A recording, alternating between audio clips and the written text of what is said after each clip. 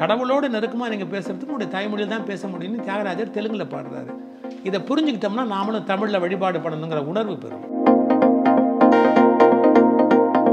எப்போவாது யோசிச்சிருக்கீங்களா சார்? அந்த slip between cup அந்த லிப் அப்படி? காலையில் இவருக்கு பட்டாபிஷேகம். மறுநாள் காலையில் அவருடைய மகனை அரெஸ்ட் பண்ணிட்டாங்க. எதுக்கு தெரியுங்களா? இவருடைய அந்த ருத்ர கண்டிகை போடுவார்ல அது மதம் அப்படிங்கிறதுக்கும் ஆன்மீகம் அப்படின்றதுக்கும் என்ன வேறுபாடு? இல்லை சாதாரணமாக உங்களை உங்கள் மீது ஒரு குற்றச்சாட்டு இருக்கு இல்லையா? நீங்கள் பேசுறதுக்கு நிறைய காசு வாங்குறீங்கன்னு. நான் பேசுங்க போதே எதிரில் அப்படியே இன்னொரு ஆள் நின்று என்னை கவனித்து நான் பண்ணுற தப்பு என்னங்கிறத நானே ஃபீல் பண்ணிக்கிட்டே இருப்பேன். மதம் என்பது ஒரு காலத்தில் கடக்கப்பட வேண்டியதே. அது வாழ்நாள் முழுவதும் ஒரு மனிதனோடு வர முடியாது வரக்கூடாது. ஞானம் அடைகிறவனுக்கு மதம் கூட வராது.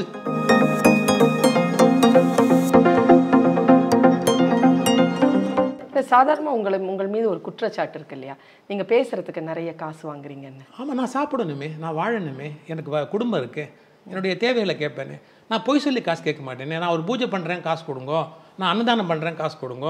நான் அது பண்ணி வைக்கிறேன் அதுக்கு காசு கொடுங்க. அப்படிலாம் பொய் சொல்லி காசு கேட்க மாட்டேன். எனக்கு காசு கொடுங்கன்னு வாங்கிட்டு அதில் சேரிட்டி பண்ணுவேன். நான் நினைக்கிற சேரிட்டி எல்லாமே என்னுடைய காசில் வாங்கி நான் சேரிட்டின்னு தான் பண்ணுவேனே ஒழிய சேரிட்டிக்குன்னு வாங்கி நான் என்னுடைய பத்து காசு யூஸ் பண்ண மாட்டேனே.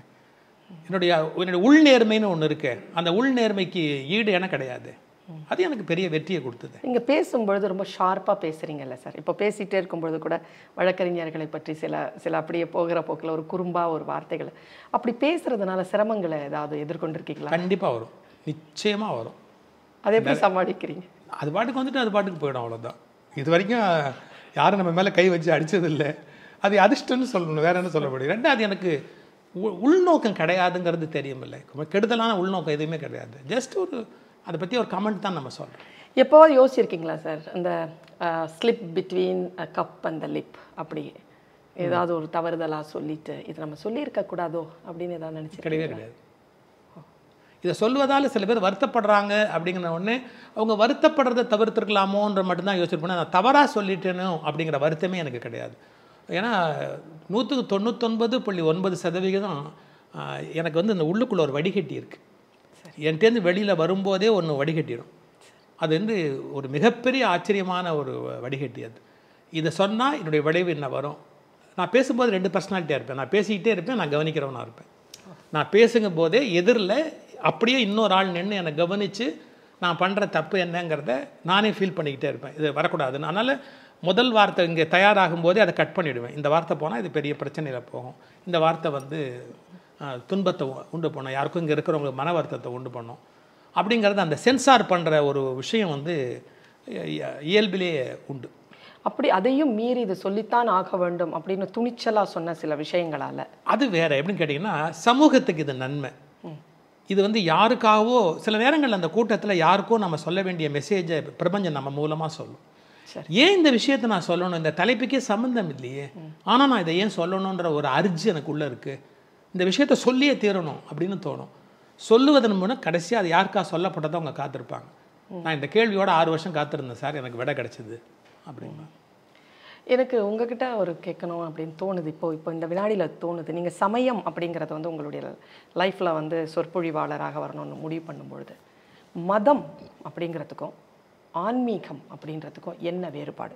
நீங்கள் சமய சொற்பொழிவாளர்னு சொல்லுகின்ற பொழுதே சுகி சிவம் ஒரு ஆன்மீக சொற்பொழிவாளர் அப்படிங்கிற சொல் வந்து சேருது. என்ன வித்தியாசம் சார்? சமயம் ஆன்மீகம் என்ன வித்தியாசம்? ஒரு மதம் சார்ந்ததாக வாழ்க்கை தொடங்கும். அதன் வழி பயணம் செய்ய வேண்டியது தவிர்க்க முடியாதது. ஏன்னா இளம் வயதிலேயே நமக்கு ஒரு மதம் போதிக்கப்படுகிறது. ஒரு மதத்தின் சூழ்நிலையில் தான் குடும்பம் உருவாகுது. அதில் தான் நம்ம வேறு ஊன்றி இருக்கும். ஆனால் பிறகு நம்முடைய சுயம்னு ஒன்று இருக்குல்ல உள்ள அது வந்து அதை கேள்வி கேட்டுக்கிட்டே இருக்கும். இது மட்டும் தானா? இதை தாண்டி இல்லையா? அப்போ இந்த நம்பிக்கைக்கு அப்பாற்பட்டு வேறு ஒரு மதம் வேறு ஒரு வழிபாடு வேறு ஒரு இலக்கியம் இதெல்லாம் உண்டாயிருக்கு. அப்போ அவங்க பொய்யா இருக்க முடியாது. ஆ அவங்கக்கிட்ட ஏதோ ஒரு வகையில் நியாயம் இருக்கணுமே. நான் அவங்களும் ஆக முடியாது. அவங்க நானும் ஆக முடியாது. அப்போ நானும் அவங்களும் ஒரு இடத்துல சந்திக்கிறதுக்கு எங்கேயாவது இடம் இருக்கா? இப்போ நான் சரியாக சொல்கிறேன்டா நான் வந்து ஒரு இஸ்லாம் மாநாட்டில் பேசினேன். அப்போ பேசும்போது நான் முடிச்ச போது கடைசியில் பேசிட்டு வரும்போது இந்த மா மிலாது விழாவில் பேசும்போது கடைசியாக அந்த வார்த்தையை சொன்னேன். நீங்களும் நானும் சொர்க்கத்தில் ஒரு மூலையில் ஒரு நாள் உட்கார்ந்து பேசுகிற போது மற்றவற்றை பேசிக்கொள்வோம். வணக்கம்னு. சரி. அப்போது ஏதோ ஒரு சந்திக்கிறதுக்கான வாய்ப்பு இருக்குது நமக்கு. அந்த அந்த நிலையில் ஏதோ ஒரு இடத்துல இருக்குது அப்படின்னு. அதை நோக்கி நான் பயணம் எடுக்கிற போது மதத்தில் எந்த ஆன்மீகம்ங்கிற அந்த சுவிட்ச் ஓவர் இயல்பாக ஏற்படுது. இன்னும் சரியாக சொல்கிறதா இருந்தால் ஐந்து திருமுறை வரையும் வள்ளலார் மதவாதியாக சமயவாதியாக தான் இருந்தார். ஆறாம் திருமுறையில் அவர் ஆன்மீகவாதியாக மாறிட்டார். திரு அந்த வள்ளலாருடைய பயணத்தை புரிந்து கொண்டவர்கள் என்னுடைய பயணத்தையும் புரிஞ்சுக்க முடியும். ஆரம்பத்தில் சமயம் மதம் சார்ந்ததாகவே என்னுடைய பயணம் இருந்தது. இவைகளுக்கெல்லாம் அப்பாற்பட்ட ஒரு ஞான நிலை இருக்குது அது எல்லாத்துக்கும் பொதுவானது. அப்படிங்கிற உணர்வு எப்படி வள்ளலாருடைய ஆறாம் திருமுறையில் வெளிப்பட்டதோ அது மாதிரியாக என்னுடைய வாழ்விலும் ஒரு காலகட்டத்தில் வெளிப்பட்டதுனால நான் ஆன்மீகம் அப்படிங்கிற அந்த பாதைக்கு போனேன். மதம் எங்கு நிற்கிறதோ அங்குதான் கடவுள் தொடங்குகிறதுன்னு. மதம் எங்கு முடிவடைகிறதோ அங்குதான் கடவுள் தொடங்குகிறது. எப்படி? சாலை எங்கு நிற்கிறதோ அங்குதான் வீடு ஆரம்பமாகிறது. ஒருபோதும் சாலை வீட்டுக்குள் வர முடியாது. எனவே மதம் நிற்கிற இடத்தில்தான் கடவுள் தொடங்குகிறது என்பதை நான் உணர்ந்து சொல்கிறேன் செயற்கையாக சொல்லவில்லை மதம் வந்து இன்றைய அரசியலை நிர்ணயிக்கக்கூடிய காரணியா மாறிக்கிட்டு இருக்கிறத பத்தி உங்களுடைய கருத்து அது வந்து மக்கள்கிட்ட ஏற்பட்ட ஒரு வறட்சின்னு சொல்லுவேன். ஏன்னா வேற நல்ல செய்திகளை மக்கள் முன்பு வைத்து கொடுத்து வெற்றி பெறக்கூடிய சக்தி பல பேருக்கு இல்லாமல் போயிடுச்சு. இன்றைய சூழ்நிலையில் வேலை வாய்ப்பு விவசாயத்தில் வன்மை பொருளாதார ரீதியாக மேலெடுத்து செல்லக்கூடியது இதுக்கெல்லாம் இன்றைக்கி பல பேருக்கு திறமை இல்லை சக்தி இல்லை ஆற்றல் இல்லை. அப்போது மக்களை கூட்டம் சேர்க்கறதுக்கு ஏதாவது ஒன்று வேணும். ஜாதி பேரில் சேர்க்கலாமா? மதத்தின் பேரில் சேர்க்கலாமா? ஏதோ ஒரு அடையாளத்தின் பேரில் சேர்க்கலாமாங்கிற இன்னும் சொல்லணும் பரிதாபகரமான வறுமை இதில் ஏற்பட்டிருக்கிறது என்று நான் நினைக்கிறேன். இப்போது நம்ம தமிழ்நாட்டில் வந்து அரசியல் வந்து இப்போது புதிய கட்சி வந்து ஆட்சிக்கு வந்ததுக்கு பிறகு இந்து அறநிலையத்துறையில் வந்து பலவிதமான அந்த மூலமாக பலவிதமான செயல்பாடுகளை வந்து அரசு முன்னெடுத்திருக்கு. நீங்களும் அந்த குழுவில் உறுப்பினராக இருக்கிறீங்க. சாதாரணமாக இந்த அறநிலையத்துறையினுடைய செயல்பாடுகள் குறித்து என்ன சார் உங்களுடைய கருத்து? இந்த அறநிலையத்துறை வந்து மிக முன்னாடியே ஏற்பட்டது. ஏன்னா வந்து பிரிட்டிஷ்காரர்கள் காலத்திலேயே வந்து ஆக்சுவலாக இன்னொரு பெரிய வேடிக்கைன்னு கேட்டால் பிரிட்டிஷ்காரர்கள் தான் அற சொத்துக்கள் வீணாக போகுதேன்னு முதல்ல கவலைப்பட்டவன். சரி. ஆம், இப்போ ஒரு ஒரு கோயிலுக்குன்னு ஒரு நிலம் கொடுத்துருப்பாங்க. அதை யார் அனுபவிக்கிறானோ அவன் அப்படியே பத்திரத்தை மாற்றி சொந்த மாதிரியே வித்துட்டு போயிடுவான் அப்படியே. இந்த மாதிரியாக கொடுக்கப்பட்ட தானத்துக்கு கொடுக்கப்பட்ட நிலங்கள் எல்லாமே வெளியில் போயிடுதுங்கிறத கிழக்கிந்திய கம்பெனியில் போய் ரெப்ரசன்ட் பண்ணுறாங்க சரி. அதுக்கு பிறகு தான் அவன் உடனே என்ன பண்ணுறான் இதுக்கு ஒரு லெட்ஜர் போடுறான். லெட்ஜர் போட்டு சொத்துக்களை எழுதுங்கப்பா அப்படின்னு என்ன சொத்து தான் இருக்குன்னு பாரு அப்படின்னு எழுத ஆரம்பிக்கிறான். அதுதான் ஹெச்ஆர்என்சிக்கான வேர். அப்படி தான் உண்டாச்சு முதல்ல. அதன் பிறகு கொஞ்சம் கொஞ்சமாக அரசாங்கங்கள் மாகாண அரசாங்கம் வந்தது. பிறகு விடுதலை அடைந்த பிறகு இந்திய முழுமையான அரசாங்கங்கள் வந்தது. அப்போ ஹெச்ஆர்என்சி போர்டுன்னு வந்தது. அப்புறம் ஹெச்ஆர்என்சி அட்மினிஸ்ட்ரேட்டிவ் டிபார்ட்மெண்ட் அப்படின்னு வந்தது. சொத்துக்களை காப்பாற்றுறதுக்காக தான் முதல்ல வந்தது. அறநிலையத்தில் கூட ஒரு ஒரு கோயில்லையும் ஏகப்பட்ட நகை இருக்குது திருமல் நாயக்கர் மதுரை மீனாட்சி அம்மன் கோயிலுக்கு கொடுத்தது கோழி முட்டை சைஸுக்கு மு- மு- முத்து இருக்கான். கோழி முட்டை சைஸுக்கு முத்து வந்து மதுரை மீனாட்சி அம்மனுக்கு கொடுத்துருக்கிறாராம் திருமல் நாயக்கர். இப்படி அரசர்கள் கொடுத்த சொத்துக்களை எல்லாம் காப்பாற்றுறதுக்கு அரசாங்கத்திலேருந்து ஹெச்ஆர்என்சி டிபார்ட்மெண்ட் உண்டாக வேண்டிய கட்டாயம் வந்துடுச்சு இதில் என்ன நடந்து போச்சு? கொஞ்சம் கொஞ்சம் பிழை இருக்கும். எந்த நிர்வாகத்தில் பிழை இல்லை? எல்லா இடத்துலையும் பிழை இருக்குது இந்த பிழை இருக்கிற நபர்களை நம்ம மாற்றணும் இல்லை பிழை இருந்தால் கேள்வி கேட்கணும். பிழை இருந்தால் சட்டசபையில் சொல்லணும். இந்த மாதிரி தவறு நடந்திருக்கு அப்படின்னு சொல்லி அதை திருத்தணும். அந்த துறையவே வந்து மொத்தமாக நம்ம இல்லாமல் ஆக்கலாம்னு நினச்சா அது சாத்தியமே கிடையாது. ஏன்னா இப்போ கோயில்களை எடுத்து திரும்பி எந்த தனிநபர் கையில் கொடுக்க முடியும்? யாருடைய இதுன்னு கொடுக்க முடியும்? இந்துக்களுடைய பிரதிநிதினா இன்றைக்கி யார்? மடங்கள்கிட்ட கொடுக்கலாமா? அப்படின்னு பல பேர் கேட்பாங்க. நான் எல்லா இடங்கள்லையும் புழங்கி வெளியே வந்தவன். ஒரு மடாதிபதியை பற்றி ஒரு இன்ட்ரெஸ்டிங் செய்தி சொல்கிறேன் அன்னைக்கு காலையில் அவருக்கு பட்டாபிஷேகம். மடாதிபதியாக பட்டாபிஷேகம். அன்றைக்கி மறுநாள் அவர் மகனை அரெஸ்ட் பண்ணி கொண்டாந்துட்டாங்க. காலையில் இவருக்கு பட்டாபிஷேகம். மறுநாள் காலையில் அவருடைய மகனை அரெஸ்ட் பண்ணிட்டாங்க. எதுக்கு தெரியுங்களா? இவருடைய அந்த ருத்ர கண்டிகை போடுவார்ல அது தலையில் ஒன்று வைப்பாங்க வட்டமாக அது இதெல்லாம் ராத்திரி மகன் வந்து அழுதான். நான் கஷ்டப்படுறேன். எனக்கு சாப்பாட்டுக்கு இல்லை. நீ சாமியாரை வந்து சௌக்கியமாக உட்காந்துட்ட அப்படின்னு ஒன்று கழட்டி கொடுத்துட்டாரு. ஓ. அவன் கஷ்டப்படுறான்னு ஒன்று என்ன பண்ண முடியும்? ஒரு அப்பா இல்லை. என்ன தான் சாமியார் ஆகிட்டாலும் கடந்துளோர்களும் கடப்பரோ பிள்ளை மேல் காதல்னு பாட்டு உண்டு. கடந்துளோர்களும் கடப்பரோ பிள்ளை மேல் காதல். பிள்ளை மேலே இருக்கிற பாசம் ருத்ர கண்டிகை எல்லாத்தையும் கட்டி மகன்கிட்ட கொடுத்துட்டாரு. அவன் அதே ஊர்லேயே போய் அடகு வச்சான். போலீஸ் பிடிச்சிட்டாங்க. மறுநாள் காலையில் ஹெச்ஆர்என்சி டிபார்ட்மெண்ட்லேருந்து வெரிஃபிகேஷனுக்கு வர்றாங்க. இவர்கிட்ட பார்த்தா எதுவுமே காணும். திருட்டு போயிடுச்சுன்ட்டார் இவர். கடைசியில் அந்த பையனை அரெஸ்ட் பண்ணி கொண்டு வந்து நிறுத்திட்டாங்க. சரி. அப்புறம் தான் இது என் பையங்கிறாரு அவர். நான் எதுக்கு சொல்ல வரேன்? ஒரு துறவியாக போயிட்டதுனால அவர்கள் வந்து எல்லாத்தையும் சரியாக செய்வாங்கலாம் நம்ம எதிர்பார்க்கவே முடியாது இன்னைக்கு. மக்கள் சொத்து இல்லையா? மக்கள் சொத்து அது. ஆனால் இதை காப்பா அது மட்டும் இல்லை அரசு கொடுத்தது. அன்றைக்கு இருந்த ராஜராஜ சோழன் அன்றைக்கு இருந்த பல்லவ மன்னன் அன்றைக்கு இருந்த சேர சோழ பாண்டிய மன்னர்கள் கோயிலுக்கு கொடுத்தது.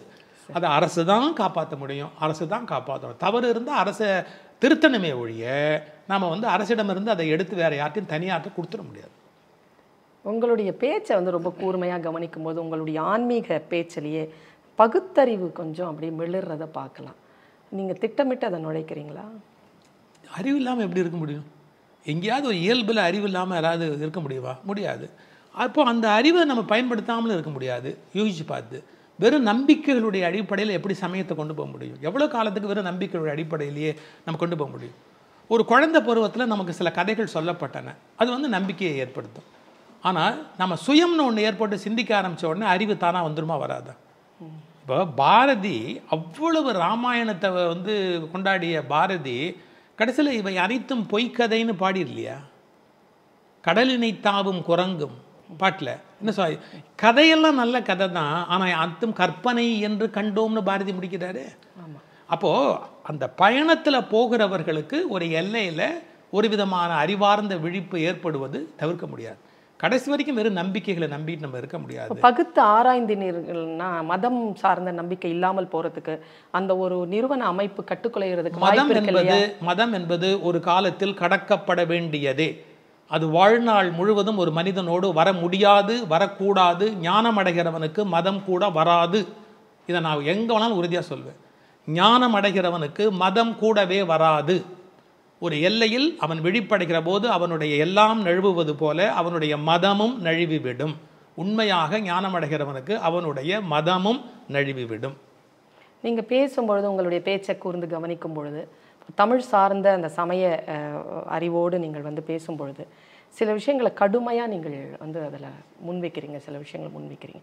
இப்போ உதாரணமாக நமக்குன்னு ஒரு அடையாளம் இருக்குது அந்த அடையாளத்தை தக்க வைப்பதற்கு நம்ம என்ன செய்யலாம்? அந்த மக்கள் என்ன செய்யணும்? எந்த கோணத்தில் கேட்குறீங்க இப்போ வந்து இப்போ தமிழ் அடையாளம் இருக்குது நமக்குன்னு ஒரு தமிழ் அடையாளம் இருக்குது இப்போ மத வழிபாடு அப்படின்னா சில மதங்களில் வந்து அது வாய்ப்பே இல்லாமல் இருக்குது ஆனால் தமிழ்நாட்டில் பொறுத்த அளவில் இப்போ ஒரு கோயிலுக்குள்ளே நம்ம போகிறோம்னு சொன்னால் கோ தமிழில் வந்து அந்த வழிபாட்டு முறைகளை கேட்பதற்கோ அந்த கோயிலினுடைய பெயர் தமிழில் இருப்பதற்கோ நமக்கான உரிமையும் நமக்கான சூழலும் இருக்கின்ற பொழுது அதை அதை வந்து எப்படி நீங்கள் பார்க்குறீங்க? அது மாறு மாறுகின்ற பொழுது எப்படி பார்க்குறீங்க? இல்லை இல்லை இது வந்து உள்ள ஒரு செய்தி வெளியே ஒரு செய்தின்னு ரெண்டு மூணு நடந்து போச்சு. எப்படின்னு கேட்டிங்கன்னா சைவ வைணவ சமயங்கள் தான் அடிப்படையான சமயங்கள் தமிழகத்தில்.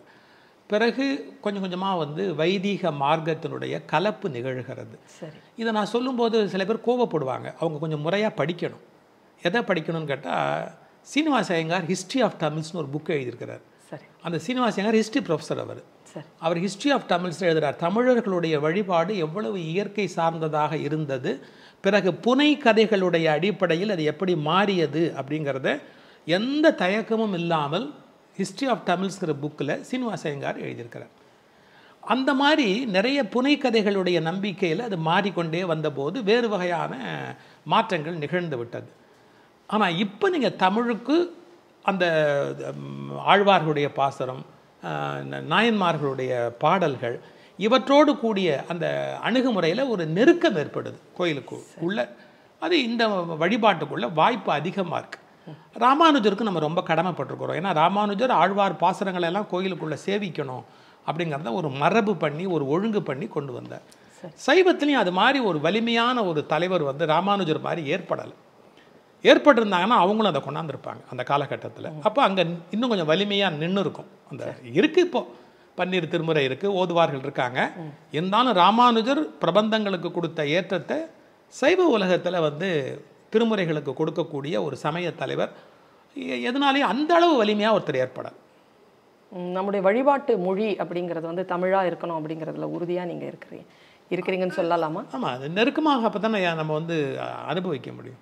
நான் அண்மையில் பேசி ஒரு இது போட்டிருந்தேனே. தியாகராஜர் தெலுங்கில் பாடுறாரு. கொஞ்சம் நல்லா யோசிச்சு பாருங்கள் தமிழ்நாட்டில் தானே இருக்கார் தியாகராஜர். ஏன் தெலுங்கில் பாடுறாரு அவர்? தெலுங்கு அவருக்கு தாய்மொழி. கடவுளோடு பேசணும்னா தாய்மொழியில் தான் பேச முடியும். உங்களுடைய கடவுளோட நெருக்கமாக நீங்கள் பேசுகிறதுக்கு உங்களுடைய தாய்மொழியில் தான் பேச முடியும்னு தியாகராஜர் தெலுங்கில் பாடுறாரு. இதை புரிஞ்சுக்கிட்டோம்னா நாமளும் தமிழில் வழிபாடு பண்ணணுங்கிற உணர்வு பெறுவோம். சில மதங்களுக்கு அந்த வாய்ப்பே இல்லாத பொழுது அந்த மதங்களை குறித்து என்ன கருத்து சொல்வீர்கள்? அவர்கள் சொல்லுவதெல்லாம் பிற மொழியில் சொன்னாலும் அவர்கள் மனம் தமிழ்தான் பேசிக் கொண்டிருக்கும். மனத்திற்குள் அவர்கள் தமிழில்தான் பேசிக் கொண்டிருப்பார்கள். இப்படி சொல்லலாமா சார்? வழிபாடு வந்து வேறு மொழியாக இருந்தாலும் இறை வேட்கை என்பது தாய்மொழியில் தான் உள்ளதான் இருக்கும். அந்த தவிப்பு வந்து அது அந்த தாய்மொழியிலேருந்து தான் அரும்பி இருக்கும் கண்டிப்பா கண்டிப்பா கண்டிப்பா. சார் நான் உங்கள் உங்களுடைய ப்ரோக்ராம்ஸ்லாம் பார்க்கும்போது நீங்கள் பேசுகிறது பார்க்கும்போது நீங்கள் கலகல கலகலன்னு சிரிப்பீங்க. எவ்வளோ சீரியஸாக நீங்கள் பேசுகிறீங்களோ ஆனால் நீங்கள் ஜோக்காக உங்களுக்கு பேச தெரியுமா தெரியாதா அப்படிங்கிறது ஒரு புறம் இருக்க. உங்களுக்கு சிரிக்கிறது ரொம்ப பிடிக்குமா சார்? ரொம்ப கண்டிப்பாக அது ம- என்ன ஆகிடுவேன் ஒருத்தர் சொல்லும்போது சீரியஸ் ஆகிடுவேன் என்ன சொல்கிறாரு இவருக்கு யார் மறுப்பு சொல்ல போகிறா இல்லை இவர் சொல்கிற செய்தி தப்பாக இல்லை எங்கேயாவது எல்லை மீறிடுவாரான்னு நான் கொஞ்சம் டென்ஷன் ஆகிடுறேன் அதனால சிரிக்காமல் உட்காந்துருப்பேன் சில பேர் வரும்போது இப்போ உங்களுக்கு தெரியும் மோகன சுந்தரம் இவங்கெல்லாம் வரும்போது என்ன அறியாமல் ரொம்ப சத்தம் போட்டு நான் சிரிக்க ஆரம்பிப்பேன். ஏன்னா அவங்க சொல்ல போகிற கருத்து தீர்ப்புக்கு ஒன்றும் பெருசாக துணை நிற்க போகுதுன்னு இல்லை. நாம மகிழ்ச்சியாக சிரிச்சிடலாம் அப்படின்னு அந்த நகைச்சுவை வந்து என்ஜாய் பண்ணுவேன். சரி. சில சமயம் என்னுடைய தனி உரைகள்லையும் நான் வந்து சில நகைச்சுவை பகுதி பேசும்போது நானே சிரிச்சிட்டு பேசுகிறதும் உண்டு. பட் கொஞ்சம் பேசிக்கலி நான் ஒரு சீரியஸ் பர்சனாலிட்டி தான்.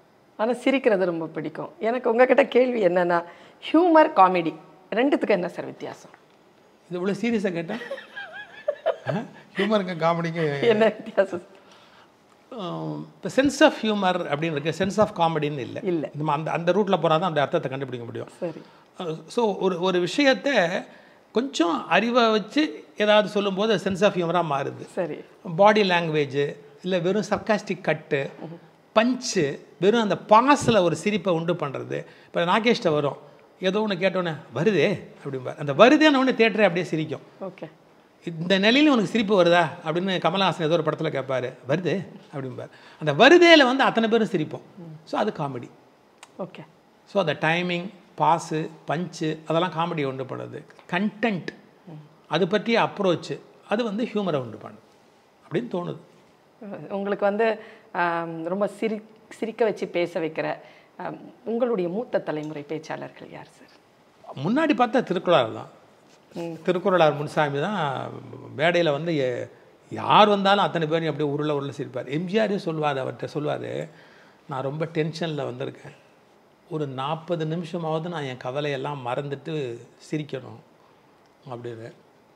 இவர் போனார்னா எம்ஜிஆர் பக்கத்தால் தட்டி உருண்டெல்லாம் சிரிப்பார் மேடையில். அந்த மாதிரி படங்களே இருக்குது அப்படியே உருளுவார். இந்த பக்கமும் அந்த பக்கமுமா? அப்படி சிரிக்க வைப்பார். சரி. நம்ம இதுலேயே ஒரு உதாரணம் சொல்கிறேனே நாகப்பட்டினம் வராரு திருக்குளம் சாமி. வழக்காடு மன்றம். யார்? நம்ம சண்முக வடிவேலும் இன்னொருத்தரும் வழக்காடுறாங்க. நடுவர் வந்து திருக்குளார் முன்சாமி. சரி. அந்த கோயில் ட்ரஸ்டி சும்மா இருந்திருக்கலாம். அங்கேருந்து வந்து இந்த இந்த சும்மா விட்டடிச்சிட்டு போகிற வேலையெல்லாம் இங்கே வச்சுக்கக்கூடாது இங்கே வந்து ரொம்ப ஆராய்ச்சியாக பேசணும். சரி. இது எப்பேற்பட்ட மேடை தெரியுமா? அப்படின்னு நாகப்பட்டினம் நீலாயதாட்சி அம்மன் திருக்கோயில் விழாவில் திருக்குறளாருக்கு உத்தரவு போட்டார். சரி. உடனே இவர் ஆரம்பிச்சார். இந்த நாகப்பட்டினம் திருக்கோயிலுக்கும் எகிப்துக்கும் தொடர்பு இருக்கிறது. எகிப்துக்கும் தொடர்பு இருக்கிறது அப்படின்னாரு. ஆராய்ச்சி. அரங்காவலர் சொன்னார்ல நம்ம இப்போவே அதை ஆராய்ச்சி ஆரம்பிச்சிருவோம். எகிப்துக்கு. ஏன்னு கேட்டால் எகிப்தில் கெய்ரோ அப்படின்னு ஒரு ஊர் இருக்குது இங்கே இருக்கிற சிவபெருமான் பேர் காரோக காரோகன காரோகன? கைரோ கைரோ எப்படி ஆரா எப்படி ஆராய்ச்சி? அப்படின்னா நான் இவங்கெல்லாம் சுற்றி இருக்கிறவங்கெல்லாம் உருண்டு புரண்டு எல்லாம் சிரிக்க ஆரம்பிச்சோடனே இன்னும் இருக்க ஆராய்ச்சி. நைல் நதி எகிப்து. நீலாய தாட்சி. நீலாய நைல். எப்படி எப்படி உடனே அந்த அரங்காவலர் மேடைக்கு வந்தார். ஐயா தெரியாமல் சொல்லிட்டேன். தயவுசெய்து மன்னிச்சுங்க அப்படி அப்படி மரியாதை அதாவது அவருக்கு ஹியூமருக்கு வந்து எந்த ஒரு சிரமமும் இருக்காது. சரி. அப்படி அத்தனை பேரையும் சிரிக்க வச்ச வலிமை வாய்ந்த பேச்சாளர் ஐயா திருக்குறளார் முன்சாமி. சரி. ஒரிஜினாலிட்டி அதுக்கப்புறம் சண்முக வடிவேல். சண்முக வடிவேல்லாம் வந்து பிளான்டு ஹியூமரே இல்லை. அது வந்து அது ஒரு தனி ஒரு ஒரு- ஒரு ஜோக் எடுத்து வச்சுக்கிட்டுலாம் பண்ணணும் அப்படிங்கிறலாம் கிடையாது. அது பேசிக்கிட்டே வரும்போது அது அப்படியே ஹியூமர் ஆகிடும் அந்த மாதிரியான. பட்டி மண்டபங்கள்ல அது வந்து நீங்க ரொம்ப ரசிக்கிறீங்களா? சார் எப்படி பேலன்ஸ்டா அந்த சிரிப்புக்கான ஸ்பீக்கர்ஸ் இப்போ பட்டிமன்றத்தில் எல்லாருமே ஜோக் அடித்தாலும் நல்லா இருக்காது. எல்லாருமே சீரியஸாக பேசினாலும் நல்லா இருக்காது. அது வந்து ஒரு ரெண்டரை மணி நேரம் ரெண்டு மணி நேரம் படம் மாதிரி. நான் நம்ம பட்டிமன்றம் டீம் போட்டால் நான் எப்படி போடுவேன்னு நீங்கள் பார்த்துருப்பீங்க. ஒருத்தர் பாடுறவங்களா இருப்பாங்க. ஒருத்தர் ஹியூமர் சொல்கிறவங்களா இருப்பாங்க. ஒருத்தர் சீரியஸாக பேசுகிறவங்களா இருப்பாங்க. ஒருத்தர் வந்து அப்படியே உருக உருக கண்லேயும் தண்ணி வரும்படியா அழ வைக்கக்கூடிய ஆளாக இருப்பாங்க. ஒரு ஆறு பேச்சாளர் பேசுகிற பட்டிமன்றத்தை கேட்டால் ஒரு ரெண்டு மணி நேரம் ஒரு ஃபுல் சினிமா பார்த்த சந்தோஷத்தோடு எழுந்துச்சி வெளிப்படலாம் நான் அப்படி தான் நான் பிளான் பண்ணுவேன். ஆறு பேருமே ஜோக் அடித்தாலோ இல்லை ஆறு பேருமே ஒரே அடியாக அழ வச்சாலோ அந்த பட்டிமன்றம் நல்லா இருக்காது. அது எல்லாமா இருக்கணும் அந்த வெரைட்டி அது டோட்டலாக பார்க்கும்போது.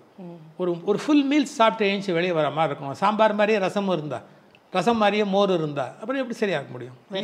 வெரைட்டி இருக்கணும். எல்லாமே வித்தியாசமாக இருக்கும் டாபிக் சார் இடத்துக்கு தகுந்த மாதிரி அந்த தலைப்புகள் இருக்கணும். இப்போது பொதுமக்கள் நிறைய வராங்க அப்படின்னா அவர்களுக்கு ஏற்ற மாதிரியாக அந்த தலைப்பை நாம் அமைக்க வேண்டிய கட்டாயம் இருக்குது அது ஒரு கம்பன் விழா அப்படின்னா அங்கே வந்து ஒரு வேறு மாதிரியான ஸ்டாண்டர்டில் வந்து தலைப்புகள் அமைய வேண்டிய கட்டாயம் இருக்குது ஒரு ஆஃபீஸில் வந்து அவங்களுடைய ரிக்ரியேஷன் கிளப்பில் ஒரு பட்டிமண்டபம் போடுறாங்க அப்படின்னா அங்கே ஹியூமருக்கு வந்து இம்பார்ட்டன்ஸ் கொடுத்து ஏன்னா பொழுதுபோக்குக்காக தான் அவங்க அதை ஏற்பாடே பண்ணுறாங்க இப்படி எந்த இடமும் அந்த இடத்தை பொறுத்து விதவிதமான தலைப்புகள் வந்து பட்டிமன்றங்களில் நம்ம கொண்டு வரலாம். உங்கள் தலைப்பை வந்து நீங்கள் கொடுத்து அவங்க மற்றவர்கள் பேசி ஒரு இந்த பக்கம் ஒரு மூணு பேர் அந்த பக்கம் ஒரு மூணு பேர் பேசினதுக்கப்புறமா நீங்கள் தீர்ப்பு சொல்கிறத மக்கள் வந்து கவனிக்கிறாங்க. அது வந்து எப்போவுமே இப்போ தொலைக்காட்சிகள்லாம் வந்து நிறைய ப்ரொமோ எல்லாம் போட்டு இதுவா அதுவா அறிவா பணமா மனமா வசதிகளா? எல்லாமே இவ்வளோ பேசி மூணு பேர் மூணு பேர் ஆறு பேர் பேசினதுக்கு அப்புறமா இந்த ரெண்டு தலைப்பும் இல்லை அப்படின்னு புதுசா ஒரு தீர்ப்பு கொடுக்குறீங்களே அது என்ன ஸ்ட்ராட்டஜி அது நியாயமா? எது உண்மையோ அது மக்களுக்கு போகணுங்கிற அக்கறை தான் காரணம். ஏதோ ஒரு காரணத்தில் இவங்க சொன்னதை எல்லாத்தையும் தள்ளிட்டு நம்ம வந்து ஒரு ஒரு புது இடத்த அடையணும் அப்படிங்கிற மாதிரியான வேட்கை எனக்கு கிடையாது. சரி. ஆனால் எது மூலமான உண்மையோ அந்த உண்மையை தான் அடையணும். ஒரு உதாரணம் சொல்கிறேன் காரைக்குடி கம்பன் விழா. பழனியப்பன் செயலாளர். அப்போ ஒரு தலைப்பு கொடுத்துருக்கிறாரு. மூன்று அக்ரிணை பொருட்கள் கொடுத்து இந்த மூன்று அக்ரிணை பொருட்களில் ராமனுடைய நோக்கத்துக்கு துணையாக இருந்தது எது அப்படின்னு கேட்குறாரு குகனுடைய படகு சிம்மாசனம் இந்த மாதிரி மூணு தலைப்பு கொடுத்துருக்காரு. மூன்று அணி பேசுகிறாங்க ஆனால் எனக்கு வந்து இது எதுலேயுமே உடன்பாடு இல்லை. ஏன்னா ராமாயணத்தினுடைய கதைப்போக்குக்கு சிம்மாசனமோ படகோ இன்னும் ஏதோ கொடுத்துருக்காரு. எனக்கு நினைவு வரல. அப்போ நான் உடனே என்ன பண்ணேன் கம்பன் கழக செயலாளரை வந்து மேடைக்கு அழைக்கிறேன் என்ன. இது வரைக்கும் யாருமே பண்ணாது நடுவர் வந்து கம்பன் கழக செயலாளர் இப்போ வந்து மேடைக்கு நான் அழைக்கிறேன். வந்தார் பழனியப்பன். இந்த மூன்றுக்குள் மட்டும்தான் நான் தீர்ப்பு சொல்லணும்னு ஏதாவது எனக்கு எல்லை இருக்கான்னு கேட்டேன். இந்த மூன்றில் எதுன்னு தான் சொல்லணும்னு ஏதாவது எனக்கு நிர்பந்தம் இருக்கா அப்படின்னு. அப்படி இல்லை. ந- நடுவரை பொறுத்த வரைக்கும் அவருக்கு முழு சுதந்திரம் இருக்குது அவர் எப்படி வேணாலும் தீர்ப்பு சொல்லலாம். நான் ஒரே ஒரு கேள்வி கேட்டு இந்த மூன்று அக்ரணி பொருளை எப்படி தேர்ந்தெடுத்தீங்க நீங்கள் இவைதான்ற முடிவுக்கு வந்து தேர்ந்தெடுத்தீங்களா? இவை தவிர இன்னொன்று இருந்தால் நீங்கள் என்ன பண்ணுவீங்க? அப்போ நம்ம முழு நியாயம் வழங்கலைன்னு ஆயிடாதா? அப்படின்னு. அப்போ பழனியப்பன் சொன்னார் நடுவருக்கு என்ன தோணுதோ நடுவர் செய்யலாம். எங்களை பொறுத்த வரைக்கும் கம்மன் கழகம் எந்த கட்டுப்பாடும் விதிக்கலைன்னு. நான் அப்போ என்ன சொன்னேன்? இது மூன்றுமே கிடையாது பாதுகைன்னு தீர்ப்பு கொடுத்தேன். பாதுகை தான் ராமாயணத்தில் வந்து மிகப்பெரிய மாற்றங்களுக்கு காரணமாக இருக்குது இல்லை ரா இந்த தலைப்பு அப்படி வரும். ராமனோடு அதிக தொடர்புடையதோ? இது சம்திங் அந்த மாதிரி ஒரு தலைப்பு வரும். அது வந்து சிம்மாசனத்தை விட படகை விட அந்த ராமனுடைய பாதுகை வந்து மிக உயர்ந்த ஒரு இடத்த வந்து பிடிக்குது ராம காவியத்தில். அப்போது வந்து கேட்கிறவர்களுக்கு கம்பராமாயணத்தினுடைய உண்மையான ஒரு பகுதி போய் சேரணும். ஆனால் அதுக்காக இன்னொரு தீர்ப்பும் கொடுத்தேன். என்னை பொறுத்தளவில் அதுதான் விடு. இந்த மூணுக்குள்ளே சொல்லணும்னா நான் இதை சொல்லுவேன். அது வந்து உங்கள் உங்கள் மரபு கருதி நான் தீர்ப்பு சொல்ல சொன்னீங்கன்னா இதை சொல்லுவேன். ஆனால் சொன்னால் நான் நிம்மதியாக இரவு போய் தூங்க முடியாது. அதனால் இந்த முழு உண்மையும் சொல்கிறேன்னு சொல்லி அதன் பிறகு நான் இந்த உண்மையை சொன்னேன். இதே மாதிரி இன்னொரு பட்டிமன்றம் நடந்தது. சோதனைகளை சாதனைகளாக ஆக்குவது ஆண்களா பெண்களா அப்படின்னு பட்டிமண்டபம் நடந்தது ஒரு தொலைக்காட்சியில். நான் திருநங்கைகளேன்னு தீர்ப்பு கொடுத்தேன். ஏன்னு கேட்டால் சோதனைங்கிறதே பிறவியிலேயே இருக்கே அவங்களுக்கு. அப்போ நீங்கள் ஆண்களும் பெண்களும் வந்து சமமாக சௌரியமாக வந்து பிறந்துடுறீங்க. நீங்கள் என்ன பிறவியில் வந்து சோதனையே இல்லையே உங்களுக்கு? நீங்கள் உங்கள் த வர சமமாக தானே நின்று ஜெயிக்கிறீங்க. பிறவியிலேயே அவங்களுக்கு சோதனை இருக்குது அதை தாண்டி அவங்க ஜெயிச்சு வராங்கன்னா அவங்க தானே கொண்டாடத்தக்கவங்க. அதனால் நான் சோதனைகளை சாதனைகள் ஆக்குவதில் நம்ம ரொம்ப கொண்டாடத்தக்கது திருநங்கைகளேன்றத என்னுடைய தீர்ப்பாக நான் கொடுக்குறேன். நான் எதுக்காக இந்த கேள்வி கேட்குறேன் நான் பட்டிமண்டபம் அப்படின்றது வந்து ஒரு முறைமைக்குள் ஒரு கோர்ட்டில் வந்து ஒரு பால் விளையாடுற மாதிரி. அது வந்து ஒரு முறைமைக்கு உட்பட்டு இந்த தலைப்பு கொடுத்து இது பேசும்பொழுது இன்னொரு ஒரு சிந்தனையை கொண்டு வந்து நிறுத்துகிற ஒரு புதிய அணுகுமுறையை நீங்கள் வந்து உங்களுடைய மரபாக நீங்கள் வந்து விட்டுட்டு போக போகிறீங்க அப்படி இல்லை. அது எனக்கு இதற்கு உண்மையை தே- எனக்கு வந்து உண்மையை தேடுகிற அக்கறைன்னு தான் அர்த்தம் அவ்வளோதான் சரி. எது உண்மையோ அந்த உண்மையை தேடுகிற நீங்கள் நம்பவே முடியாத ஒரு இன்சிடென்ட் சொல்லட்டுமா? ஜஸ்டிஸ் இஸ்மாயில் கோர்ட்டில் ஒரு கேஸ் நடந்தது. ரெண்டு பேர் கிளைம் பண்ணுறாங்க ஒரு விஷயத்தை. எனக்கு எனக்கு தான் அந்த ரைட்டுன்னு ரெண்டு பேர் கிளைம் பண்ணாங்க கம்ப்ளீட் கேஸ் படித்தார் ரெண்டு பேரையும் ஆர்கியூ பண்ண சொன்னார். இதில் யார் இங்கே அப்பீ அப் அப்பீலும் பண்ணலையோ அப்பியரும் ஆகலையோ அவனுடைய ப்ராப்பர்ட்டின்னு ஜட்ஜ்மெண்ட் கொடுத்தார் அவர். இஸ்மாயில் கோர்ட்லேயே பண்ணியிருக்காரு. என்ன சொல்கிறார் அவர்? நீங்கள் ரெண்டு பேர் ரெப்ரசன்ட் பண்ணிட்டதாலேயே அது உங்களுது இல்லை. நீங்கள் ரெண்டு பேருடைய ரெப்ரசன்டேஷனையுமே நான் தள்ளுறேன். ஏன்னா அவங்க ரெண்டு பேருக்கு இல்லை கிளைம் இல்லை. இதில் ஆக்சுவலாக அந்த ப்ராப்பர்ட்டியில் கிளைம் இன்னாருக்கு தான் இருக்குது அவன் அப்பியர் ஆகலை. அவன் இங்கே வந்து என்னை எங்கள் என்கிட்ட வந்து கேட்கல ஆனால் அவனோடது தான் இது. உங்கள் ரெண்டு பேருக்கும் இல்லை. அதுதான் உண்மை அப்படின்னு தீர்ப்பு கொடுத்தார் இஸ்மாயில். நான் இந்த கேள்வியை கேட்டதுக்கு மிக முக்கியமான காரணம் சாதாரணமாக நம்ம மக்கள்லாம் என்ன நினைக்கிறோம் அப்படின்னா பட்டிமண்டபங்கள் அப்படிங்கிறது வந்து ஒரு இளைப்பாறுதலுக்கான அல்லது ஒரு ஜோக் பேசிட்டு இப்படி கடந்து போகிறதுக்கான ஒரு விஷயமாக இல்லாமல் நம்முடைய வாழ்க்கையில் நாம் சந்திக்க வேண்டிய அல்லது சந்தித்து கொண்டு இருக்கக்கூடிய அதை அதை சந்தித்து விடவே கூடாத பல விஷயங்களை வந்து விவாதிக்கின்ற ஒரு களமாக அறிவுப்புல களமாக இருக்கும் பொழுது அதை குறித்து பெரியவர்கள் சான்றோர்கள் பேசுகின்ற பேச்சு என்பது நம்முடைய வாழ்க்கையில் நம்ம சந்திச்சிட்டு இருக்கக்கூடிய சிக்கல்களுக்கு ஒரு தீர்வா அமையும் அப்படிங்கிறதுனால தான் ஐயா கிட்ட நான் திரும்பி திரும்பி இந்த இந்த கேட்குறேன். எல்லா நேரமும் நான் அப்படி செய்வேன்னு சொல்ல முடியாது. சில நேரங்களில் ரெண்டு அணியில் ஒரு அணிக்கு தீர்ப்பு கொடுத்துருக்குறேன். இதுவும் பல தடவை செஞ்சுருக்கிறேன். இன்னும் சில சமயங்களில் வந்து ரெண்டு தரப்பினுடைய சிறப்பையுமே முழுசாக சொல்லிகிட்டே வந்து இந்த ரெண்டு தரப்புமே சமமாக இருக்கிறதால அதையும் தாண்டி நம்ம யோசிக்க வேண்டியிருக்கு அப்படின்னும் போயிருக்கிறேன். ஏன்னா பேசியவர்களையோ அந்த கருத்தையோ அலட்சியப்படுத்துவது என்னுடைய பேச்சில் இருக்காது. அதை வந்து முழுமையாக கொடுக்க வேண்டிய வெயிட் கொடுத்துட்டு அதையும் தாண்டி உண்மை இருக்குது இப்போ உதாரணம் சொல்ல பாருங்க. நாடா வீடான்னு ஒரு பட்டிமன்றம் நடந்தது. நாடா வீடாங்கிற போது ஒரு இளைஞனுடைய முன்னேற்ற தீர்மானிப்பது குடும்பமா அல்லது சமுதாயமான்னு? நான் சொன்னேன் இல்லை உன்னுடைய தன்முனைப்புன்னு சொன்னேன். ஏன்னா நாடு சில சமயத்தில் உனக்கு உதவாமல் போயிடலாம். குடும்பம் உனக்கு சில சமயத்தில் உதவாமல் போயிடலாம். அப்பவும் வெற்றியை நீ தானே தீர்மானிக்க முடியும்? அதனால நான் சொல்கிறேன் நாடும் ஓரளவுக்கு பயன்படுது வீடும் ஓரளவுக்கு பயன்படுது. இதெல்லாம் தாண்டி உன் தன்முனைப்பு தான் உன்னுடைய மிகப்பெரிய வெற்றிக்கு துணையாக இருக்கிறதுன்னு இது. ஒரு மெசேஜோட அவனை வீட்டுக்கு அனுப்புறது தான் நான் வீட்டையும் இக்னோர் பண்ணலை நாட்டையும் இக்னோர் பண்ணலை. அதனுடைய கெப்பாசிட்டி ஒரு இலையில முடிஞ்சு போயிடுதுங்கிறது.